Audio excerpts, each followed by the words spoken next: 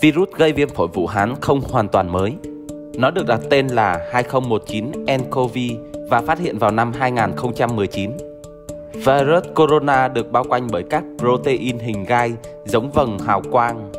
Những protein hình gai này chĩa ra như chóp vương miện, do đó họ virus này có tên là corona. Protein giúp virus tự bám vào và xâm nhập các tế bào chủ. Virus corona có khả năng đột biến nhanh chóng và truyền từ động vật sang người. Chúng cũng có thể lây lan dễ dàng từ người qua người. Vậy, virus corona lây nhiễm sang người như thế nào? Động vật nhiễm virus corona thường chứa một loại protein đặc biệt trong tế bào. Đầu tiên, virus corona bám vào protein đặc biệt này và xâm chiếm tế bào. Nếu chúng ta có cùng thụ thể bề mặt tế bào như loại virus sử dụng ở rơi hoặc động vật khác thì chúng ta sẽ có nguy cơ bị virus thâm nhập vào cơ thể. Các nhà nghiên cứu chưa tìm thấy sự khác biệt nào ở virus corona.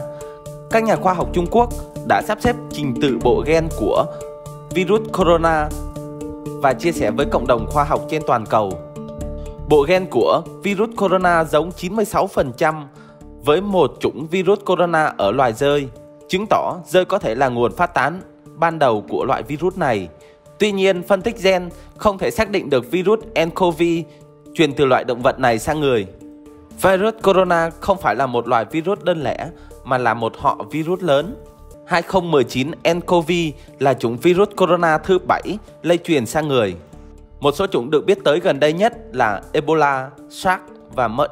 Những loại virus này được tìm thấy ở nhiều loại động vật khác nhau bao gồm lạc đà, gia súc, mèo và rơi.